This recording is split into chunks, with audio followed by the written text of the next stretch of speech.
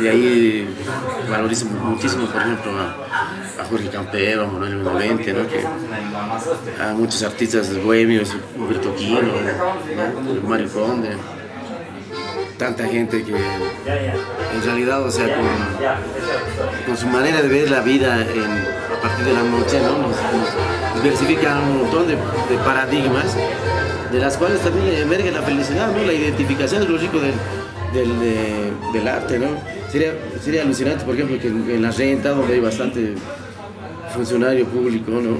que no tienen otra alternativa de, del internet, digamos, si hay alguna cosa así, ¿no? un monólogo, por ejemplo, alguna de teatro, un monólogo de 15 minutos, y se salga ¿no? para relajar un poco, ¿no?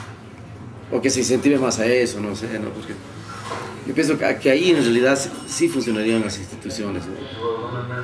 Eh, lamentablemente es mucho trámite, pero hay otras, otros mecanismos que te ayudan, ¿no? Hay gente también interesante que sí colabora, Y sabe que también emprender un proyecto artístico es, es de mucha envergadura y de, y de muchas... Eh, eh, particularidades, ¿no? Buenas, malas, o sea, nadie sabe cómo...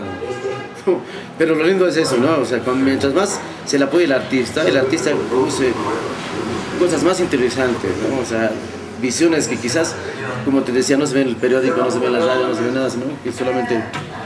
Y todo, como dice el dicho, ¿no? De artistas y locos todos tenemos un poco, entonces yo creo que todo aquí todos tenemos ese, los bolivianos más que todo, ¿no? Siempre tenemos ese ímpetu, ese, poquito de, artista, ¿no? Cuando te tomas un traguito agarras la guitarra,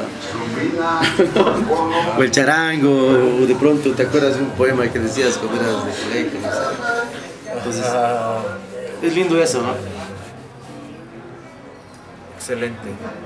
Una gran charla con Miguel Valverde. Muchísimas cosas más que hablar, Miguel. Muchísimas más. Ya nos iremos viendo.